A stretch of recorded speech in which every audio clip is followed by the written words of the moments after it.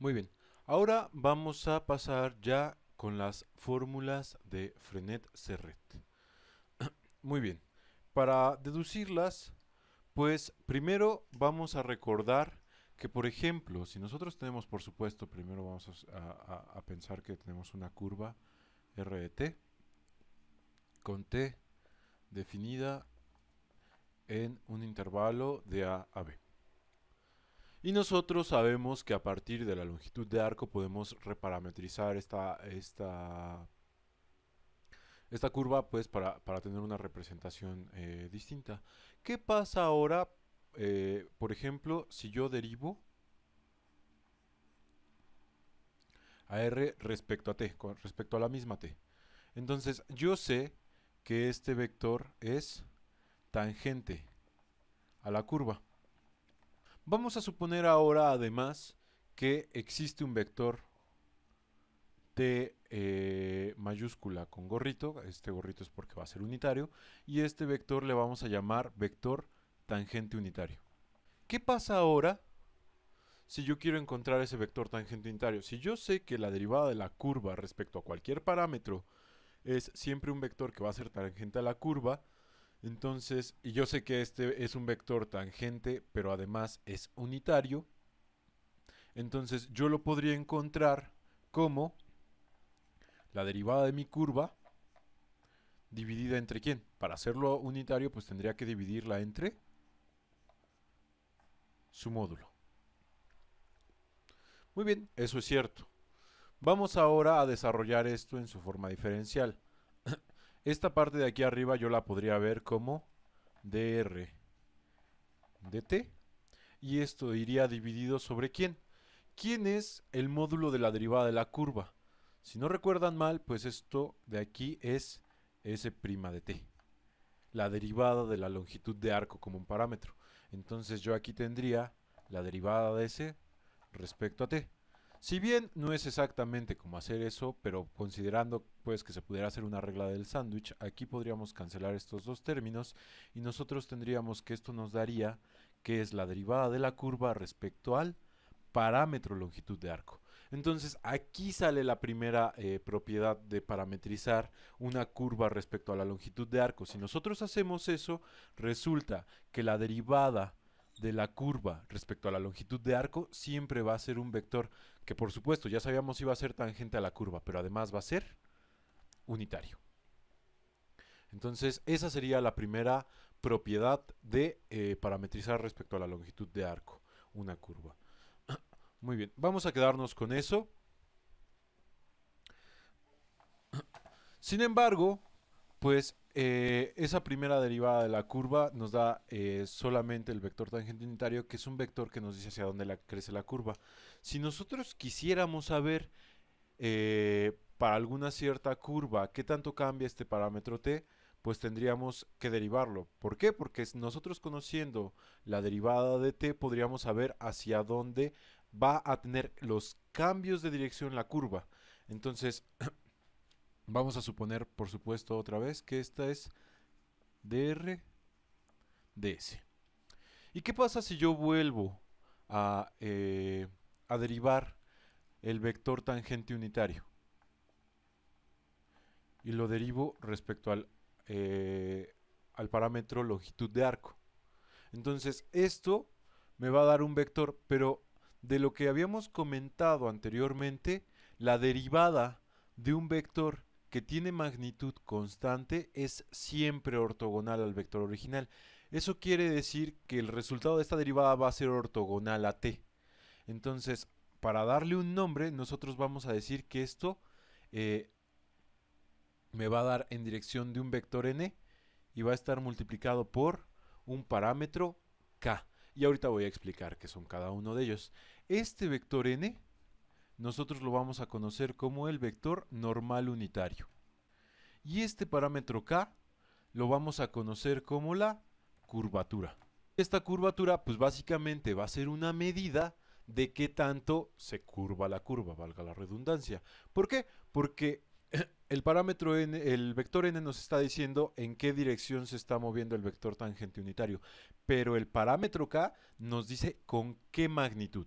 Entonces, este, este, este parámetro k nos dice qué tanto varía t.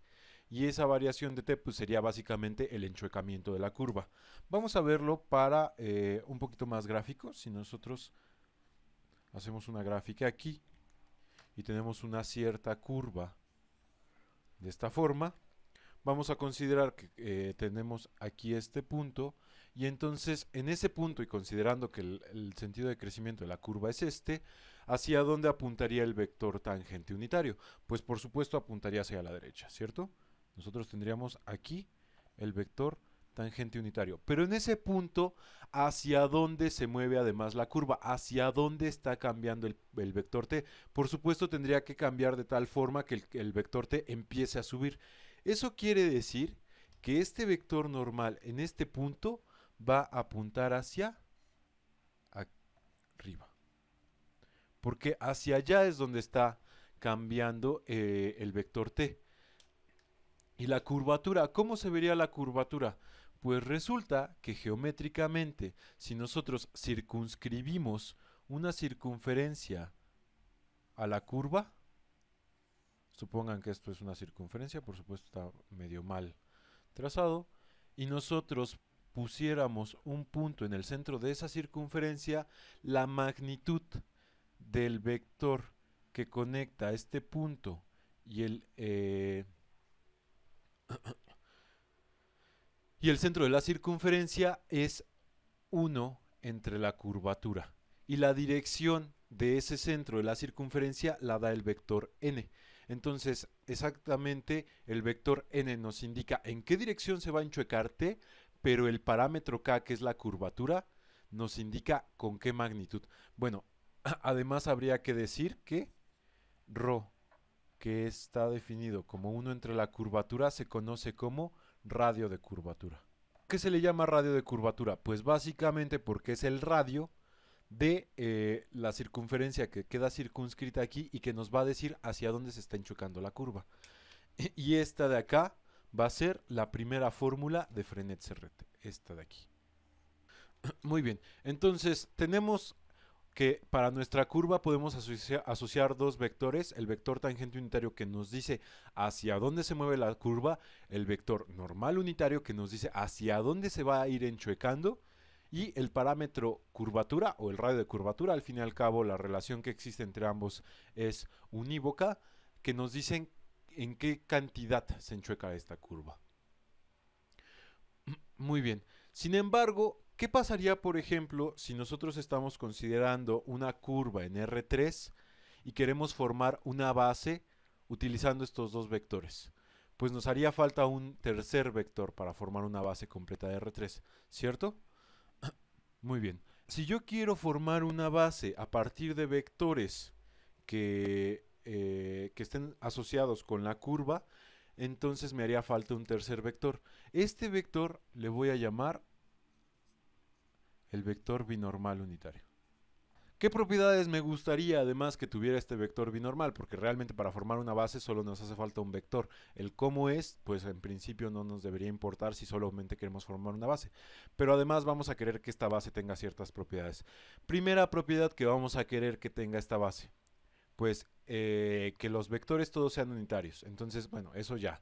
Eh, se puede hacer solamente considerando un cierto vector lo que sea y dividirle entre su módulo, así podemos encontrar un vector unitario. Pero la segunda cosa que me interesaría es que este vector sea ortogonal a los otros dos. ¿Por qué? Porque a partir de vectores ortogonales pues ya tendríamos una suerte de base eh, ortogonal, que son exactamente lo mismo que sucede para los vectores i, j y k. Entonces vamos a definir a b de tal forma que b se pueda obtener como resultado de el producto vectorial de t con n. Y entonces pues de esta surgirían otras tres. Por supuesto la siguiente sería que el vector tangente unitario se puede encontrar como el vector normal en producto cruz con el vector binormal. Y la última sería que el vector normal unitario se puede encontrar como el producto cruz del vector binormal con el vector tangente unitario. Y con esto ya se parecerían a la base canónica. ¿Por qué? Pues si nosotros consideramos que B fuera acá, nosotros sabemos que podemos encontrar acá como el producto cruz de y con j. Esto lo hago pues para que lo relacionen a ambas bases. Sabemos, por ejemplo, que el vector y lo podemos encontrar como el producto cruz de j con k y que el vector j yo lo puedo encontrar o lo podemos encontrar como el producto cruz de k con i. Muy bien. Esas propiedades nos gusta que eh, esas propiedades nos gustaría que se cumplieran para eh, para este vector binormal. Muy bien. Este vector binormal sería un vector ortogonal tanto al vector tangente unitario como al vector normal unitario. Sin embargo, este vector también nos dice algo acerca del comportamiento de la curva. ¿Por qué? El vector tangente unitario y el vector normal unitario pueden formar un plano. Un plano sobre el cual es el que se está eh, escribiendo la curva. Y nosotros sabemos que el vector binormal sería, por supuesto, ortogonal a ese plano. Eso quiere decir que si el vector binormal se está moviendo, entonces el plano sobre el cual se están eh, trazando la curva, pues va a ir cambiando. Entonces, ¿qué pasa ahora si yo quiero derivar al vector binormal? Si yo quiero derivar al vector binormal para saber cómo es que está cambiando este, lo voy a derivar respecto a la longitud de arco, pues ¿qué tendría? Si yo utilizo esta fórmula de acá, yo tendría que esto es la derivada de t respecto a s en producto cruz con el vector normal, más t en producto cruz con la derivada de el vector normal respecto a s. Sin embargo, esta derivada del vector tangente unitario da en dirección del vector normal unitario. Eso quiere decir que esta de acá es paralela a esto. Y el producto cruz de dos vectores paralelos, pues por supuesto que da 0. Eso querría decir entonces que el vector, bueno, la derivada del vector binormal solamente está representada por esta parte de acá. Muy bien, cosas que hay que notar aquí. Primero, la derivada del vector binormal, por supuesto, tiene que ser ortogonal al vector binormal porque el vector binormal es unitario. Entonces, el resultado que nos dé aquí tiene que ser ortogonal al binormal. Pero además, nosotros lo podríamos encontrar como el producto cruz de la derivada del vector normal con t. Sin embargo, t eh, sería ortogonal a este producto cruz. Si es el resultado de esto ortogonal tanto al vector binormal como al vector t, ¿en dirección de quién va a dar? Pues esto por supuesto va a tener que dar en dirección de el vector normal unitario. ¿Con qué magnitud? Y esto va a ser pues lo interesante, por supuesto.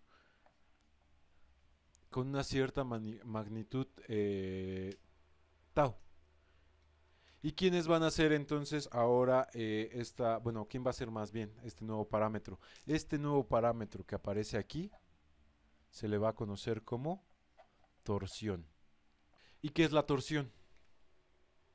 Para explicarlo un poquito mejor, pues eh, voy a volver a apoyarme en un dibujo. Supónganse que tenemos eh, un sistema de coordenadas tridimensional cartesiano. Y en este yo genero una curva. Esta curva pues que sea una espiral. Como la del el resorte de un cuaderno y que el sentido de trazado sea este de acá. Eso quiere decir que empieza aquí, empieza yéndose hacia afuera y luego entra y sigue bajando.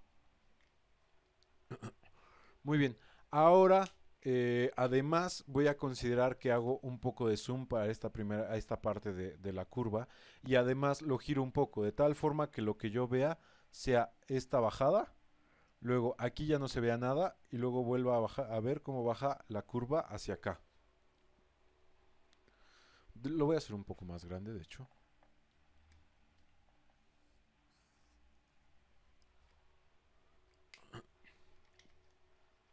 Muy bien, si el sentido de, trazado de la curva era justamente este y nosotros teníamos, eh, y nosotros consideramos este punto, ¿hacia dónde apuntaría esta vez el vector normal unitario?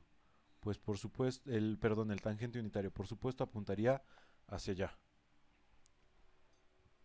Ahora, ¿hacia dónde apuntaría el vector normal unitario? Nosotros estamos viendo ahora esta curva y si el, eh, el vector tangente unitario va en esa dirección y esta curva primero sale y luego entra, eso quiere decir que el vector normal unitario apuntaría hacia adentro del pizarrón.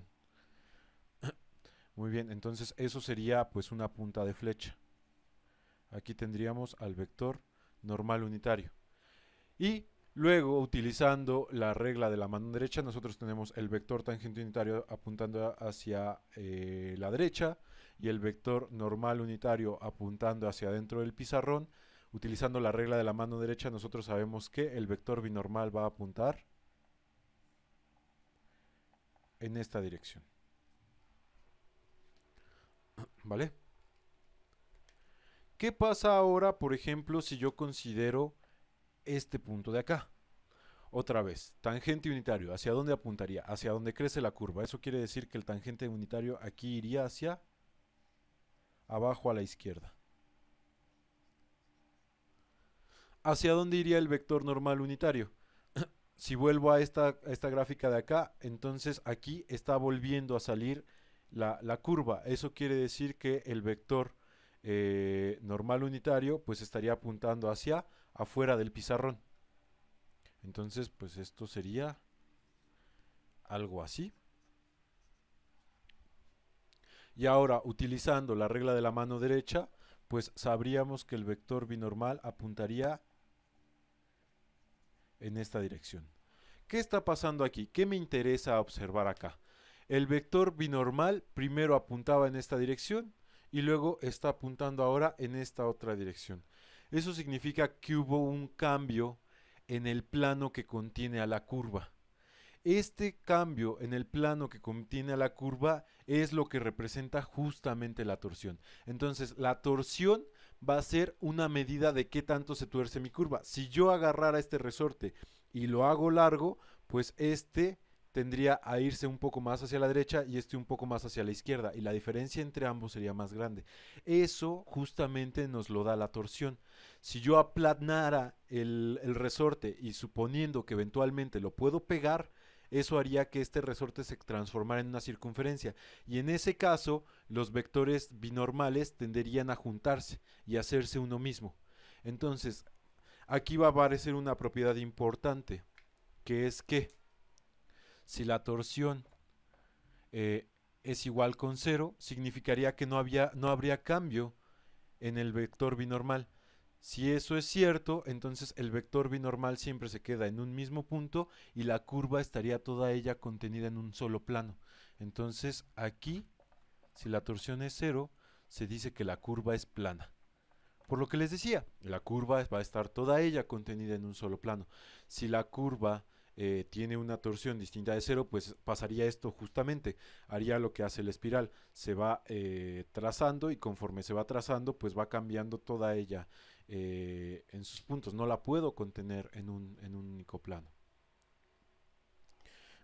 y bueno, todo esto todo esto sale de la que conoceremos como la segunda fórmula de Frenet-Serret, que sería esta parte de aquí, la derivada de, ese, de B respecto a S, y esta parte de acá.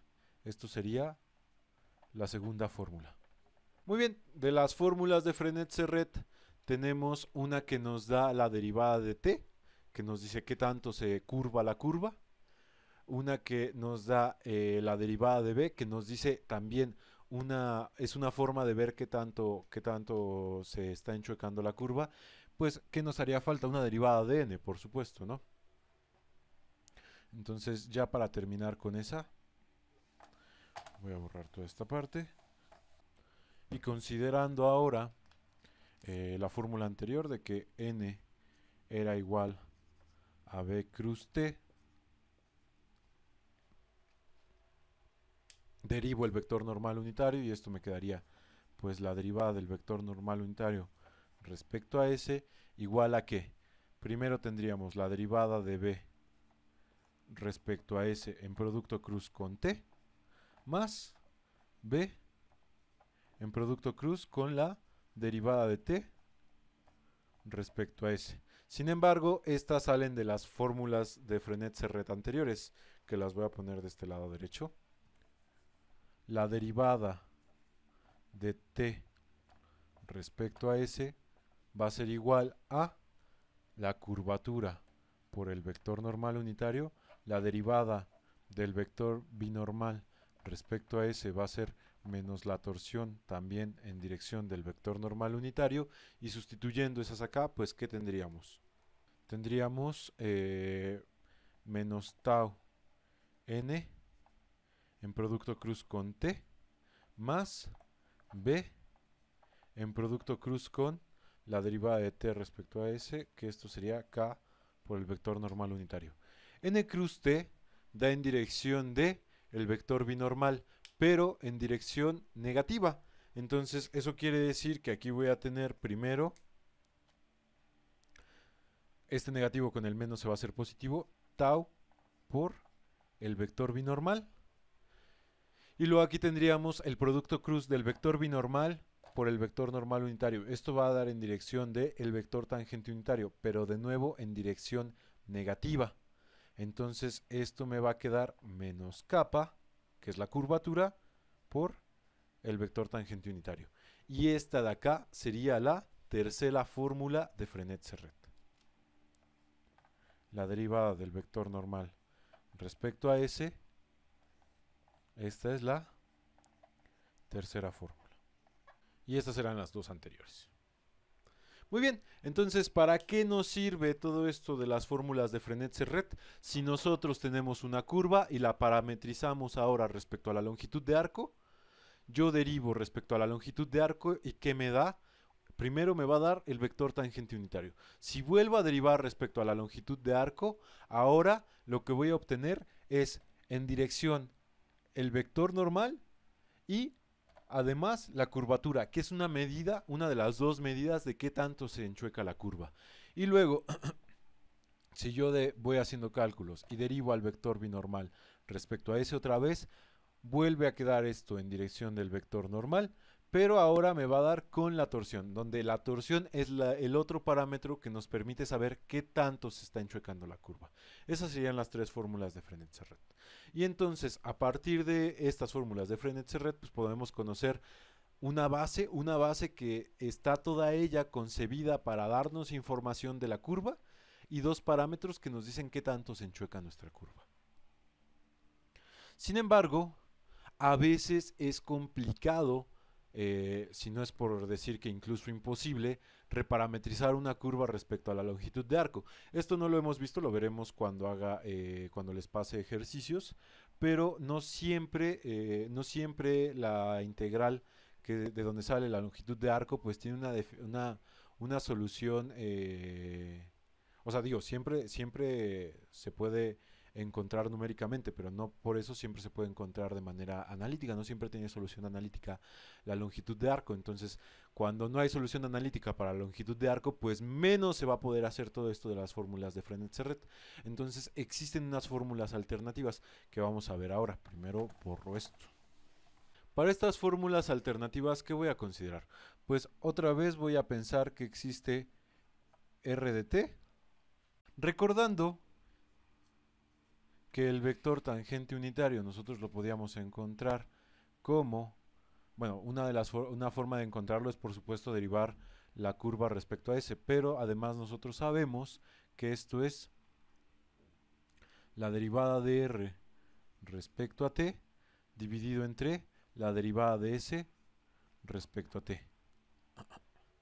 Muy bien, si yo de aquí despejo la derivada de r respecto a t, entonces yo tendría que dr dt, esto es igual a ds dt por el vector tangente unitario. Voy a quitar las derivadas y lo voy a escribir ahora en su forma más compacta con primas. Entonces esto sería r' igual a s' por el vector tangente unitario. Esta es la forma, eh, a partir de estas voy a empezar a, a encontrar las fórmulas alternativas. Entonces, importante será recordar esta de acá. ¿Qué pasa si yo tomo segunda derivada de la curva? Entonces, bueno, aquí hace falta ponerle los vectores. Si yo tomo la segunda derivada de la curva, ¿esto qué sería? Pues tendría que derivar eso. Si yo derivo esto, pues esto es la multiplicación de dos funciones, una función escalar y una función vectorial. Entonces, esto sería S por el vector tangente unitario más S' por la derivada del vector tangente unitario pero respecto a t. Muy bien, vamos a calcular esa derivada del vector tangente unitario respecto a t. La derivada del vector tangente unitario respecto a t, pues no sería otra cosa, utilizando la regla de la cadena, que la derivada del vector tangente unitario respecto a s, que esta la conocemos, es una de las fórmulas de Frenet-Serret, pero aquí estoy derivando respecto a t, entonces para que esto sea cierto tengo que agregar la derivada de s respecto a t. Muy bien, esto de acá, esta parte es s', y esta derivada de t respecto a s de las fórmulas de Frenet-Serret, nosotros sabemos que es kappa por el vector normal unitario. Entonces, otra forma de escribir esta segunda derivada sería s por el vector tangente unitario más esto por la derivada de t. Pero esta derivada de t es todo esto. Entonces, esto me quedaría s' al cuadrado por la curvatura por el vector normal unitario. Muy bien, y voy a volver a derivar. Entonces, eh, bueno, antes de, de volver a derivar, voy a subrayar esta, que es la importante.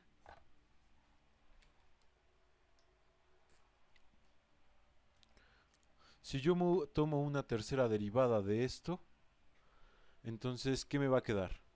Esto me quedaría S triprima por el vector tangente unitario más S' por eh, la derivada de t del vector tangente unitario respecto a t, pero eso es esto de acá. Entonces eso me quedaría S' por S' por la curvatura por el vector normal. Y luego habría que derivar esta parte de acá. Eh, hay el producto de tres funciones, entonces hay que ver qué, sale de aquí. Si yo derivo esto, primero me quedaría la derivada de eh, el cuadrado de S', que esto sería 2S' por S dividiendo, eh, derivando perdón, primero el 2 y luego derivando S' para este S' por K por el vector normal unitario. Después, ¿qué habría que derivar? Después habría que derivar la curvatura. Entonces, más S' al cuadrado por la derivada de la curvatura, lo que sea que valga esa derivada, por el vector normal unitario. Y finalmente tendríamos que derivar el vector normal unitario. Entonces aquí tendríamos S' al cuadrado por la curvatura por la derivada del vector normal unitario. Pero esa derivada del vector normal unitario hay que calcularla. ¿Cómo me quedaría? La voy a calcular aquí en medio. La derivada del vector normal unitario no sería otra cosa sino la derivada del vector normal respecto a s primero por la derivada de s respecto a t. Esta la conocemos de las fórmulas de Frenet-Serret y esta de acá pues es s'. Entonces aquí tendríamos s' que multiplica a la derivada de n respecto a s, que si no recuerdo mal, esta quedaba eh, la torsión en dirección del vector binormal menos la curvatura por el vector tangente unitario. y entonces, pues ahora tendríamos eh, que añadir esta parte acá.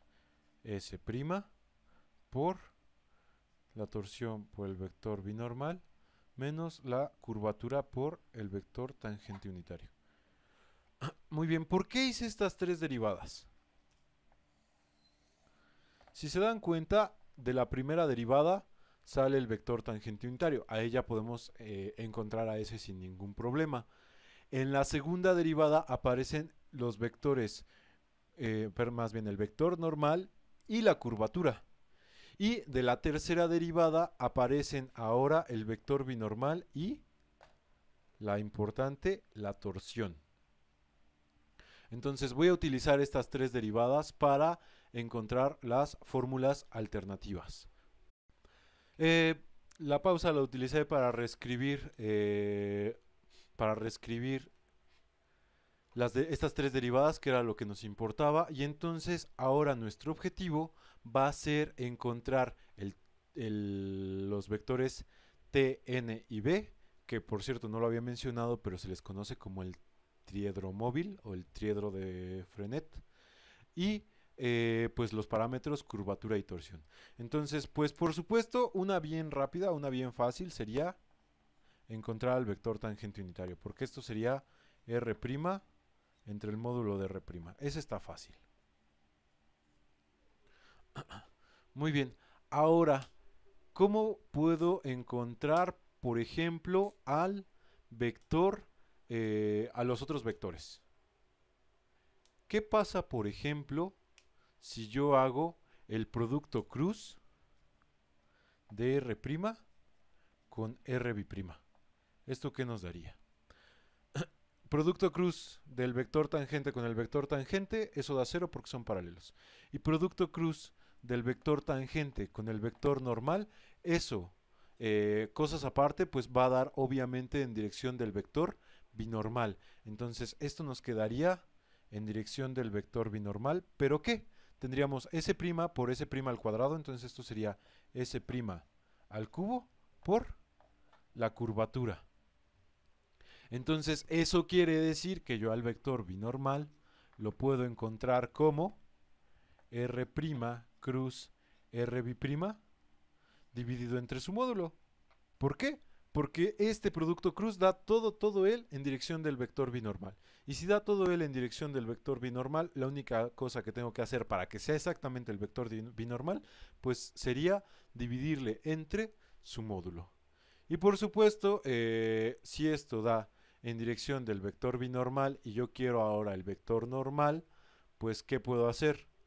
Hacer el producto cruz de algo que esté en dirección del vector binormal con algo que esté en dirección del vector tangente unitario y con eso me va a dar algo en dirección del vector normal.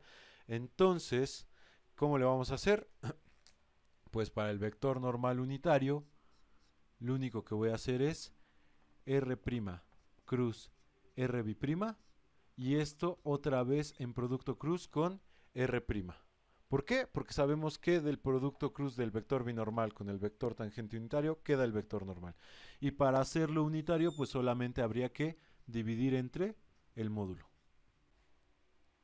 Y con esto ya tendríamos el triedro. ¿Cómo calculo ahora los parámetros curvatura y torsión? Muy bien, si nosotros hacemos el producto cruz de, este, eh, de esta primera derivada con la segunda, aquí ya aparece la curvatura. Entonces, ¿qué pasa ahora si yo tomo el módulo de este resultado? Nosotros tendríamos R' cruz R bi'prima. El módulo de esto, pues sería esto mismo sin el vector binormal, porque el vector binormal es unitario. Entonces, esto sería S' al cubo por la curvatura. Sin embargo, S' Recuerden, S' es igual a el módulo de R'. Entonces, ¿cómo voy a encontrar ahora la curvatura? Si yo la despejo de aquí, la curvatura sería R' cruz R' el módulo de esto dividido entre quién? Entre S' al cuadrado, al cubo. Pero esto es el módulo de R' al cubo. Y ahí tengo ya la curvatura. Y si quiero conocer la torsión, si se dan cuenta, la torsión en la única parte en la que aparece es en este término de la tercera derivada. Y si se dan cuenta, además, R' cruz R' da en, dirección del vector binormal. Ambos están en dirección del vector binormal. Entonces, ¿qué pasa si yo hago el producto punto de esto? Eh, si yo hago R' cruz R y luego esto en producto punto con R triprima, eh, se me está acabando el pizarrón, entonces este igual va a continuar aquí. ¿A qué sería igual esto? Sería binormal, producto punto con tangente, 0. Binormal, producto punto con normal, 0. Binormal, producto punto con binormal, va a dar 1. Entonces aquí tendríamos que multiplicar lo que va eh, acompañando al vector binormal. Ese prima al cubo por S prima al cubo daría S prima a la 6. Curvatura por curvatura, curvatura al cuadrado y luego solamente tendríamos que añadir la torsión. Y de aquí entonces nosotros vamos a saber que la torsión es igual a R' cruz R biprima, todo esto en producto punto con R triprima, dividido sobre S a la 6 per, y por la curvatura al cuadrado. Sin embargo, ¿cómo me quito este S' a la 6 y la curvatura al cuadrado? Si nosotros recordamos, aquí mismo, tenemos eso mismo, bueno, la raíz de esto, ¿no? La raíz cuadrada de esto de acá. Entonces, esto de acá yo lo puedo cambiar ahora por R' cruz R biprima, el módulo de esto y elevado al cuadrado. Y entonces estas son las fórmulas alternativas. Estas tres me permiten encontrar al triedro. Esta me permite encontrar a la curvatura. Y esta de acá me permite encontrar a la torsión. Y esto pues eh, es un resultado interesante porque con esto ya no debemos de eh, parametrizar la curva respecto a la longitud de arco, solamente calcular derivadas respecto a cualquier parámetro. Y utilizando estas fórmulas, pues podemos conocer ya todo, tanto el triedro móvil como los parámetros curvatura y torsión. Y con esto, pues eh, podemos conocer, como ya les había mencionado, todo de la curva, qué tanto se enchueca eh, y las direcciones en las cuales se enchueca. Y bueno, con esto sería todo para curvas. Eh, además de esto, lo único que vamos a, ver extra pues son ejercicios que ya, que ya subiré después.